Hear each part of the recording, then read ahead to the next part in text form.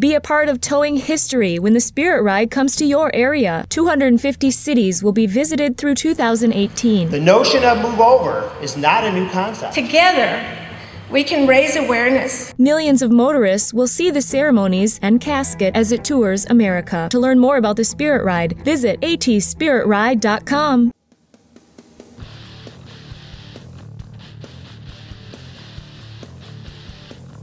American Towman TV.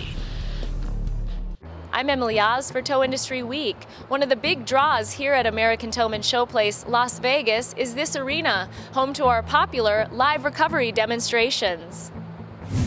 NRC Industries, with Max St. Pierre at the helm, held the crowd's attention with their demo. Epler Truck Sales assisted with the live show.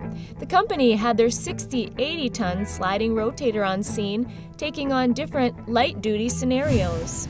Well, basically, um, the main goal this morning was to show people that a rotator is not just uh, something for super heavy recovery because uh, usually they're like well an 80 ton nobody uh, well not everybody needs an 80 ton. We don't have uh, that many recoveries or uh, we only have once one a year. So uh, we, we wanted to show people that you can use it if not every day at least every week on, on different scenarios which in a certain point of view would be a little bit overkill but makes your life uh, and your job way easier and safer. So that was the main goal.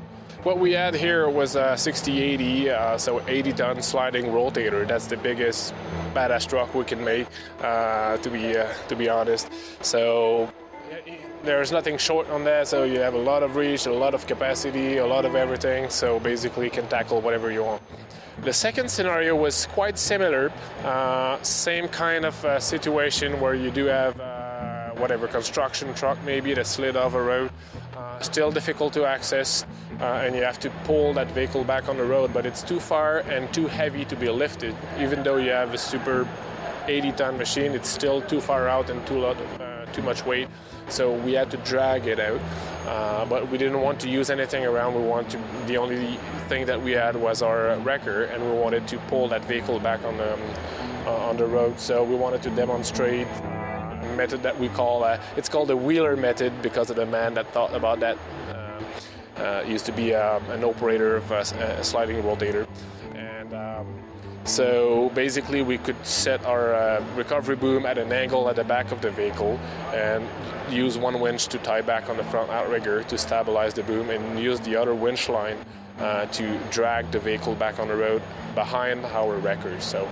Uh, we didn't need extra space for that. We only needed that little road or access road. We wanted to show how a recovery, well, a heavy recovery truck can also be used for light recovery. And then we know that people know about that, but we wanted to show again how uh, we had uh, just a pickup truck that was down in the embankment and we had a scenario where we had a, a, a highway uh, a lot of traffic, and then you're given only one lane to operate. Uh, heavy traffic already. So we picked that uh, that pickup with uh, the rotator, and we wanted to set it on a carrier, and the carrier had no room to turn around and to, uh, to back up to the wrecker to be loaded. So we had to load over the cab, and we wanted to show that you need a lot of reach and a lot of boom height with uh, all the rigging we had uh, to do that. So basically, it was a single aid recovery. The uh, rotator gets there, the carrier can just drive back of it, and then we could load the vehicle and, and set off. So something that is very efficient in a real life situation when you have a lot of traffic. So.